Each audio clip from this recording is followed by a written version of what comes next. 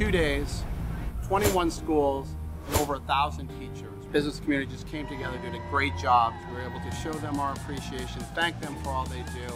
We're thrilled to have our teacher appreciation breakfast in our 32nd year.